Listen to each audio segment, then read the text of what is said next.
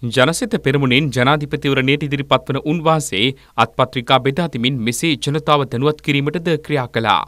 සියලු දේශපාලන පක්ෂවල අයියලා මල්ලා මල්ලා අයියලා තාත්තලා පුතාලා මේ ඔක්කොම එන්නේ රට විනාශ කරන්න මිසක් රට හදන්න නෙමෙයි. රුකුමා දිසානායක දැන් කතා කරනවා තමන්ගේ ජනාධිපති මන්දිරය අගමැති මන්දිරය විදේශකෝ ගෙන්නලා කාමර ඇති කරලා ඒ අයට දෙනවලු මේ විදේශ සම්පත් ලබා ගන්න. ආන්ද්‍ර කුමාර මහත්තයෝ ඔය බොළඳ ඔය විකට කතා ඔය නාඩගම් කතා කෙරුවා තමයි. තමුන්නාන්සේ ජනාධිපතිකමට එන්න ඕන නම් බලය ගන්න ඕන නම් රටේ මිනිස්සු බොරුවෙන් නටවන්න එපා.